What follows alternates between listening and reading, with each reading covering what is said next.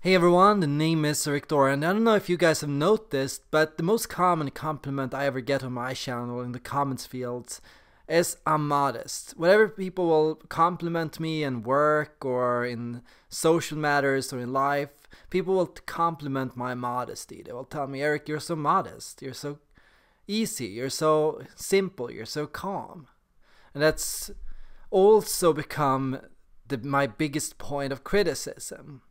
I'm constantly criticized in comments fields and uh, online and in social medias for being too superficial and shallow. People assume that because I don't appear to be much, I can't be a lot. I must be then too normal, too simple, too shallow. So I've had to understand and try to figure these things out. How come I'm simultaneously held up as modest and simultaneously held up as superficial or shallow? How are do those two things related and why do people think this about me? I feel one of the most common themes surrounding INFJ personality types is INFJs are supposed to be so special and so unique, you know. And here I am wearing a normal sweater with a regular haircut, a white face, no strange scars or gadgets to back me up. What pisses off my haters the most is how ordinary I can appear. I mean, how could anybody so normal be an INFJ? And I'll explain in this video my biggest fear and my complicated relationship to the idea of being strange or special. I'm gonna tell you, I've always known I was different and I've always felt different from other people. I've always known I was different, but I never wanted to say it out loud. When I was a kid, I was too proud of what made me special and what set me apart of other people. And when I talked about it or mentioned it to other people, other people would assume I came from a position of arrogance. They would say, Erik, who do you think you are? Do you think you're better than me? And uh, to me, you know, strange never meant better to me. You know, I had a very difficult experience in school when I talked about my own visions and my intellectual projects and what I wanted to do in life and where I deeply hurt another person and uh, made him feel inferior because his visions were more practical. He wanted a normal job, a normal lifestyle, you know, he wanted uh, just to have friends, good friends, you know, a simple life somewhere doing something easy and relaxing. You know, I came out very much hurt and upset about this. Uh, I felt very bad and very ashamed of myself, you know, for having hurt another person. I hate the thought that I've uh, ever made other people doubt themselves or feel bad about themselves. You know, everybody is different. Everybody wants different things. But I think when we're confronted by our differences, we're also upset by them and we also get insecure about them. We feel that if we are different, it must be because we are wrong or because we have done something wrong. If somebody is happy doing something, then we must be miserable because we are not doing the same thing. You know, we copy and echo each other's. We follow the crowd. We do what everyone else does. We look to others for guidance, and you know, that's why intuition and judging is so difficult. I came to internalize a degree of resentment towards those that tried too hard to stick out of the crowd. I came to think that people who did must be pretentious posers. I came to think that people who had I, intellectual projects and who talked about them openly and shared them with other people, they, these people, they must be posers, they must be pretentious, they must be uh, trying to get down on other people. So I came to, you know, get stuck on that idea, that crowd mentality that gets us to target witches and to burn people for being different and to get down on people who stuck out in any way. And I came to struggle with this deeply, you know, that fear of being too different and being branded as a witch or crazy or too weird or too strange, and to be branded as an outcast for it. Now, I think in part Sweden is a very difficult country to grow up in if you're special or different, because in Sweden there is a law that explicitly states you should not be different. The law of Jante, the Jantelagen so called, states explicitly warns people from sticking out of the crowd and urges people to fit in and to not stand out, arguing it's better if people are and act more or less the same than if people try to nurture their own independence and their own personal identity. In another way, Sweden is a great country to grow up in as an INFJ because it has had peace for more than 200 years because most people there don't argue or have a lot of conflicts and because most people are very kind and supportive towards one another. What came to trump my feeling that I was special was my need for harmony and my fear of conflict. I cared too much about other people and about the group itself, and I did not want to hurt anybody by alienating myself from them. I wanted to maintain my relationships to other people, and so I came to nurture my intellectual projects in secret. I held my own diaries, I wrote by myself, I took a lot of alone time. Because it was hard to be around other people and to hold back and to not talk about what was going on inside me when I was around other people, I would echo other people's interests. I would appear and fake interest in other people's uh, interests. I would uh, dress like them, I would act like them, talk like them, and mimic a lot of their personality traits and quirks. Because of this, I never went through a teenage rebellion like most people. You know, I never developed an alternative fashion style, I never established myself as a symbol of my vision. You know, I hate the idea of making other people feel smaller than me and I did my best to show people that we were all fundamentally the same.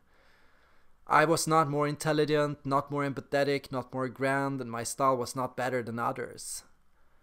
Of course, I think this was a complicated relationship because I think I went against my own words and actions all the time. I kept being torn between my need to be special and to stick out and my need to fit in. I came to not know what to do, and partially at times when I uh, I would fake intelligence and I would put on a front that was more special.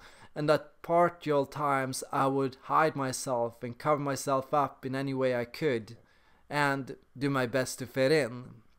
Anything that would maintain harmony and balance around myself and other people, anything that would make me get along better with others and help me reach out to others. I feared that if I was too weird or too strange, I would lose the crowd, you know, when I was talking to people, when I was politically involved, you know, I tried my best to appear like anybody, you know, just like any other person. And so I hoped that in doing so, I would find it more easy to connect to others and to reach other people and convince them. It became a part of uh, building teams and group relationships. I never realized that you could build a group relationship on being different and on sticking out from other people. I never realized that that could be a way to connect with other people or to reach other people. And you know, people's feelings came to matter more to me than my own need to stick out of the crowd, and that became very difficult for me because it also became such a massive drain on my shoulders uh, because I had to spend so much energy putting on a quiet and calm front. And you know, it never worked. I always felt like I, no matter how much I tried, I kept failing to fit in. You know, I kept trying my best to fit in, but I never succeeded. I was always the outcast, always the strange one, always the one that everybody knew and everybody got along with, but who everybody saw as a UFO, UFO. Everybody thought I was weird, everybody thought I was strange, everybody thought I was an outcast. I'd never fit in truly anywhere, but I could get along with anyone. And that became my dilemma, and I think that's I think that all boils down to my own fear of being special what it all boils down to is I have a major fear of being special, of truly stepping out of the norm and doing my own thing. You know, I fear alienating others by doing so. And I keep wanting balance and I keep wanting peace and I keep fear critics and haters, you know, to get down on me for anything I might say or anything that I might do that is too different. Anybody who follows my channels might know that a lot of my theories on the cognitive functions, my takes on them are deeply different from other takes online. I talk about 16 cognitive functions, not 8. I talk about cognitive functions as who you are in flow, not who you appear as or who you act like. I talk about personality psychology from the perspective of happiness and what fundamentally makes us happy. I talk about development levels and I talk about different ways of expressing the cognitive functions. I talk about archetypes.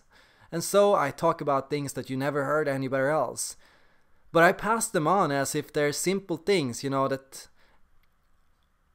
anybody knows or anybody has heard or anybody knows or you have seen or read anywhere.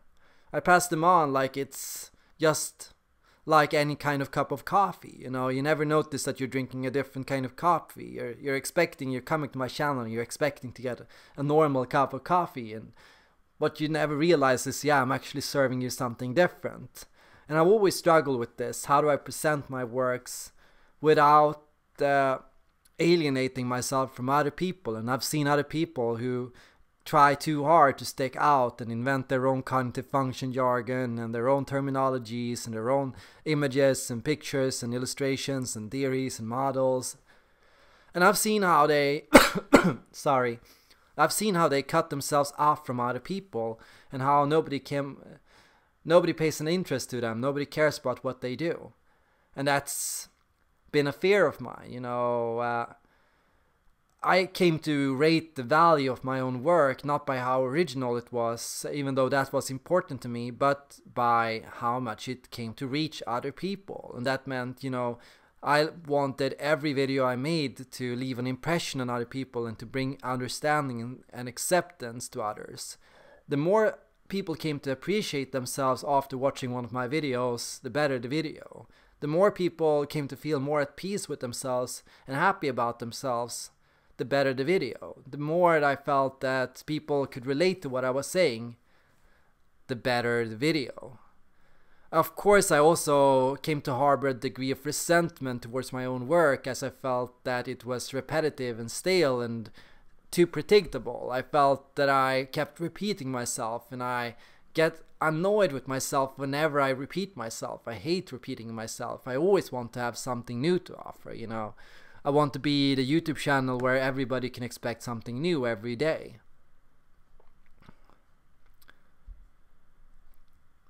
You know, I deeply crave to feel connected to other people and to make sense to others. I'm sensitive to other people and their feelings and their needs, and I notice this when I'm starting to sound like a, U- a UFO. I notice this when people don't listen anymore. I notice this when I've cut people off. I notice this when I've made people feel worse with what I did and I immediately switch my topic or channel or communication when people do. I immediately adjust and change myself and start speaking it differently to help the other person. I'm a counselor first in the sense that I'm trying to guide other people and to teach other people and walk them through something before I'm an independent or a visionary who is too complex or too crazy or too out there for anybody to understand them. Still, I will admit, I've always felt frustrated when people have come to my channel to judge me on the surface and to assume that I must be a shallow or superficial person. It's always been hard for me when people comment that, no, he's not a real INFJ, he's uh, too simplistic, you know, he's too uh, modest, he's too normal, he's too shallow, his work is never deep enough, you know. There must be more metaphors, there must be more dilemmas, more complexity, more analytical prospects. There, it must go deeper, you know. So he must be some other personality type, and you know, they never dare to say which one they think I am. Perhaps ISFJ, perhaps ESFP, you know that's always what I felt that people have been going towards. And uh, yeah, no, I'm not the ESFP entertainer archetype. I'm not an adventurer. No, I'm not uh, somebody who likes to be in the spotlight. No, I don't like to uh, be everybody's friend. No, I don't like to, uh, you know, have discipline and organization around me. I'm not neat or clean, you know. No, I'm not uh, just uh, like anybody else, you know. People don't get it. Some people don't get it, you know. These people who assume so, they don't know how to read people. They read people based on the surface, not based on who they are. And I think uh, when you're an INFJ, it's quite common to be told you're not a real INFJ. I think uh, most INFJs have been told they're not actually real INFJs. You know, most people have INFJs confuse other people on their own identity because they are too much of a chameleon. Fundamentally, deep down, I care more about mental topics, philosophy, literature, fantasy, dreams, ideas, and visions. That's my engine, that's who I am in flow. I'm the most in flow when I'm reading through large books of fantasy novels. I'm the most myself when I can sit down and write down theories and work on ideas. And I'm the most myself when I'm just walking outside on my own, you know, uh, just fully immersed with the thought about something or a vision or just just in my own uh, what my parents would come to call twilight zone and i think if you're special you're special. That's all there is to it. You don't have to prove it to anyone. You don't have to make a big deal about it. It doesn't mean you're better than anyone else. Everyone has something that makes them special, and I believe it is possible to nurture and to realize your visions and intellectual projects while helping support and admire the projects of other people. You can recognize your own path without judging other people for their path. You can admire and hold respect for other people for where they are going without becoming envious of other people, without looking down on other people, without making assumptions about them or who they are. I believe as an INFJ you should always seek to nurture a sense of humanism. And uh, that's also about uh, recognizing not just your intellectual aspirations but the future of humanity. You know, any idea or any project that you work towards where, while feeling disconnected from other people will leave you feeling empty will leave you feeling like you're disconnected will leave you feeling alienated will leave you feeling like you're never going to fit in anywhere and i think essentially what you should ask yourself is how will this benefit the human race? What am i doing for other people? How am i helping other people with what i'm doing?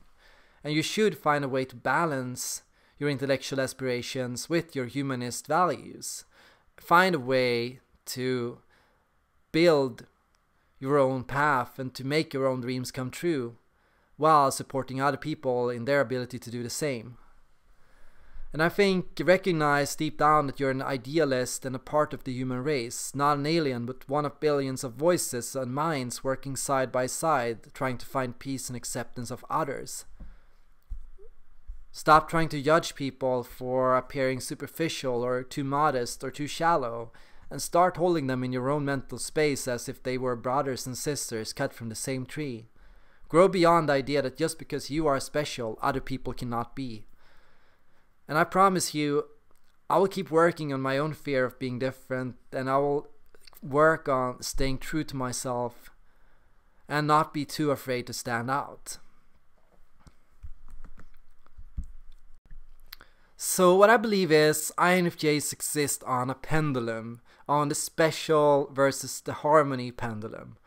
Special INFJs, they believe they are different from other people. They have known for a long time they are different and they don't mind. They appreciate standing out. They go their own way. They nurture independence. They fight in relationships and with other people for the right to go their own way. When asked to conform, they have always been rebels and outcasts. They have always gone their own way. They've always done things differently. They've always uh, built their own path for themselves. On the harmony end of the pendulum, you have the harmony oriented INFJs, and they've always been very introspective and peace oriented individuals. They've always focused on their understanding and awareness of others and of themselves, their own emotions and emotions of others. They've been focused on their values, who they are, who other people are, and on their relationships, you know, minimizing conflict, spreading peace, making people feel harmonious and balanced, spreading comfort and making people relax, making people feel understood, making people feel appreciated. So on this pendulum, you have those that let their need of harmony go too far and so end up denying themselves and holding back themselves and their own identity. And then on the special scale, you have those that go too far and those that become pretentious and who come to develop a fake sense of grandiosity that comes at the expense of other individuals. So now my question to you, INFJs, is where do you fall on this scale? How do you feel about your own identity and the needs and the balance of yourself and other people? Have you developed a stronger sense of humanism or have you developed a stronger sense of vision? How are you on reaching your own individual utopia? How long are you on your own intellectual projects and dreams? So tell me more in the comments down below. Thanks everyone for watching and hope to see you guys in the next video.